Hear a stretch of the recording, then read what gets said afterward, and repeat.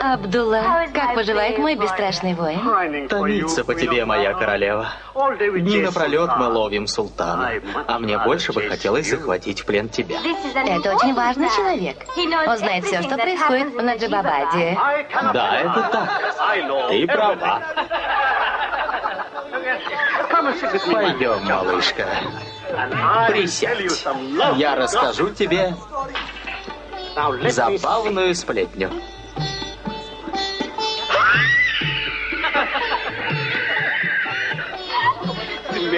Вчера ночью дочь майора видели целующийся со Стаффордом.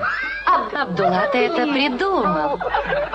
А мэм Саиб Стаффорд, мэм Саиб Стаффорд очень трогательна.